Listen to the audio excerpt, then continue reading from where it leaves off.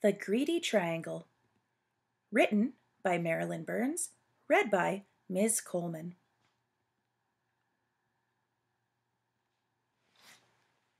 One day there was a triangle that was, as most triangles are, always busy. The triangle spent its time holding up roofs, supporting bridges, making music in a symphony orchestra, catching the wind for sailboats, being slices of pie and halves of sandwiches, and much, much more.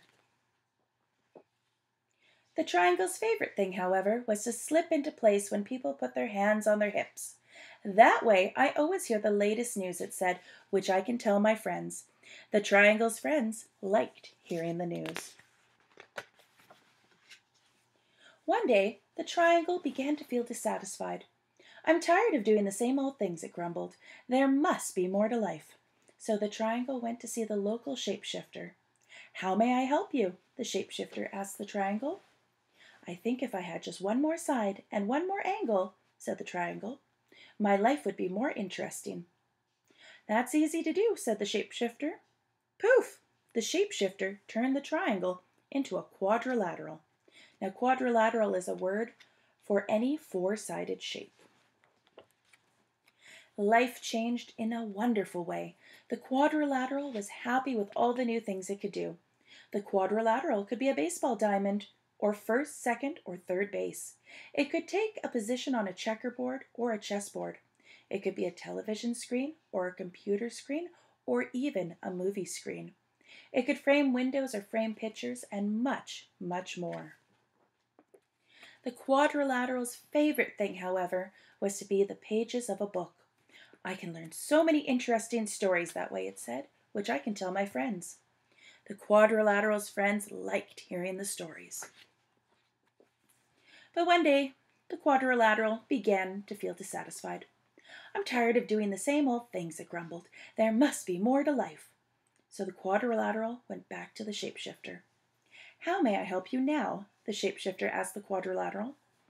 I think if I just had one more side and one more angle, said the quadrilateral, my life would be more interesting. That's easy to do, said the shapeshifter. Poof! The shapeshifter turned the quadrilateral into a pentagon. Life changed in a wonderful way. The pentagon was happy with all the new things it could do. On a baseball diamond, the pentagon could be home plate. It could be a section on a soccer ball, or appear inside whenever someone drew a five pointed star. The Pentagon's favorite thing, however, was to be the headquarters of the United States military near Washington, D.C. I hear all the top secrets that way, it said. It's too bad I can't tell them to my friends. The Pentagon's friends couldn't help feeling left out. After a while, time seemed to pass slowly for the Pentagon, and it became dissatisfied. I'm tired of doing the same old things, it grumbled. There must be more to life. So the Pentagon went back to the shapeshifter. So you're here again, the shapeshifter said to the Pentagon. Now what would you like? I think if I just had one more side and one more angle, said the Pentagon, my life would be more interesting. That's easy to do, said the shapeshifter. Poof! The shapeshifter turned the pentagon into a hexagon. Life changed again in a wonderful way. The hexagon was happy with all the new things it could do. The hexagon fit in as floor tiles in houses and patios, and fancy crackers at parties and picnics. It worked as the socket of certain bolts and the prongs of certain wrenches. The hexagon's favorite thing, however, was to be a cell in a beehive. I love watching the bees as they buzz in and out, it said. The hexagon spent so much time in the beehive it was too busy to talk to its friends. The friends missed the hexagon and couldn't help feeling ignored. Again and again the shape became restless, dissatisfied, and unhappy with its life. Again and again it returned to the shapeshifter for more sides and angles.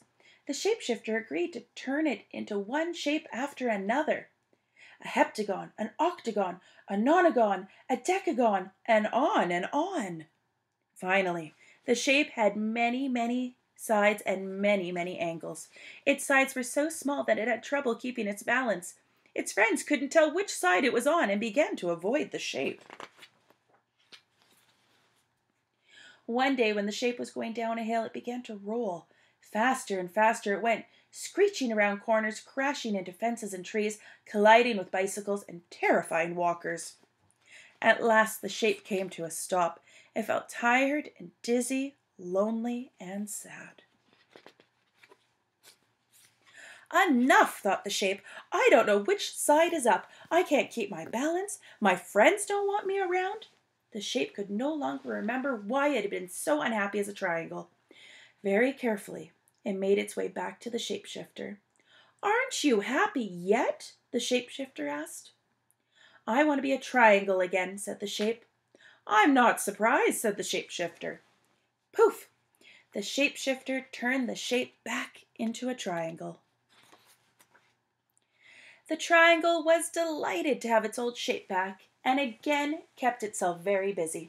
Once again it held up roofs, supported bridges, made music in a symphony orchestra, caught the wind for sailboats, became slices of pie and halves of sandwiches, and much, much more. Still, the triangle's favorite thing was to slip into place when people put their hands on their hips. That way I always hear the latest news, it said, which I can tell my friends.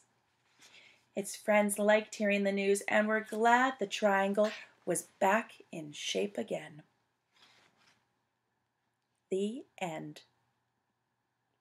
Thanks for listening. Goodbye.